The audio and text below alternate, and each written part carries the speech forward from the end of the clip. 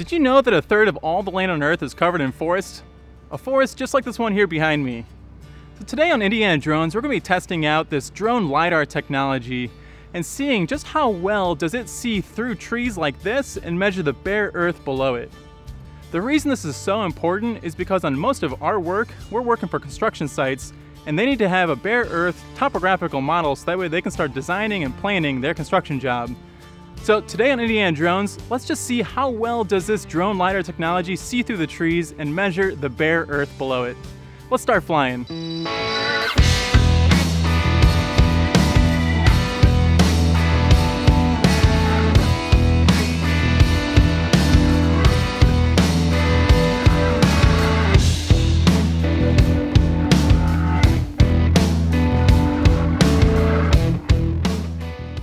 Just got an awesome job coming up. We're here in the Ozark Mountains in Missouri, and we have to get to our job site. In order to do that, we're taking a river jet boat. So we got our friend Possum here. You ready to go out to the river? We're ready to rumble. Let's do it.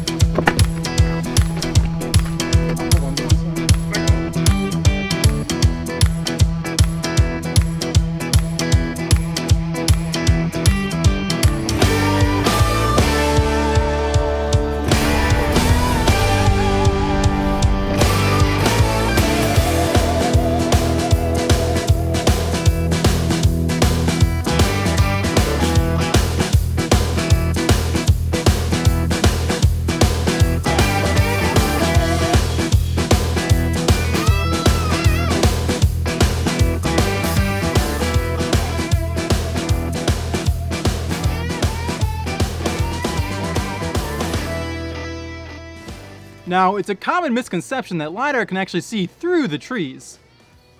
I actually thought this was the case when I first got started out. Actually, much like the sunlight that you see behind me, most of the sun's gonna be hitting the tops of the trees and the brush, but some of it, just some of it, will make its way all the way down to the forest floor.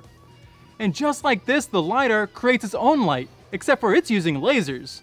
And these laser beams will hit most of the trees and the brush, but some of it makes it all the way down to the forest floor. That was some pretty heavy stuff right there. So let's get back to the mission at hand and get out and start collecting some data.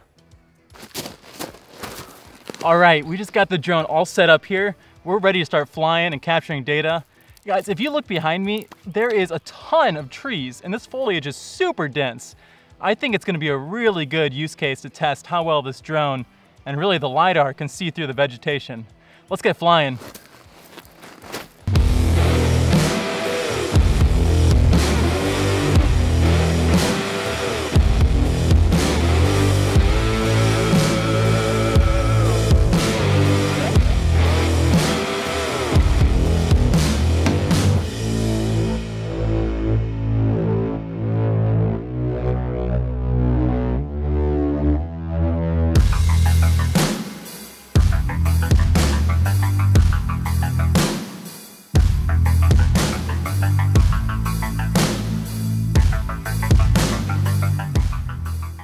Hey, welcome back to the office. It's time to start looking at that data. What is that? Oh, that's just a 15 foot wingspan drone. More on that later. And also, we created a website called theindianadrones.com. We're doing a newsletter on there to share with you a bunch of information about LiDAR, mapping, and really everything you'd ever want to know on the subject. So if you're interested for more, just go over to theindianadrones.com, subscribe to that newsletter. Now, let's go ahead and start looking at the data. Wow, here we go. This is our first look at this data. Lots of trees, lots of vegetation, but this isn't what we're really interested in. We're going to look at the ground classified points, so all the data that made it all the way to the ground. Wow, wow. So this is the ground classified points, and it looks amazing. Really good. Just pretty incredible, honestly. Now the ground classified points are, are awesome and all, but the really important thing is that we're going to generate a surface model, digital elevation model, and contours from this. Let's take a look at that surface model now. Whoa, very impressive. Very impressive. Now, I'm quite shocked at how well this looks. This is the surface model from the classified ground points underneath all that vegetation. I don't think you can do this otherwise. Like I don't, I don't think you can go out there with a GPS on a pole. You'd probably lose signal. How could you even walk through that? So really, the aerial LiDAR is kind of one of the only ways to get this data. This is very impressive. Now, usually this surface model is only being seen by us. Uh, our customers, the engineering firms, construction firms, they're going to be looking at a contour model and using that to import into their CAD software. Let's go ahead and take a look at the contours. Well, there you go. That's the contours right there. Looking really good. Lots of detailed information. All of this bare earth, no vegetation. Pretty darn cool right there. That's slick. It looks like the LiDAR drone can see through trees. I mean, we got a lot of points on the bare earth ground through that very dense vegetation.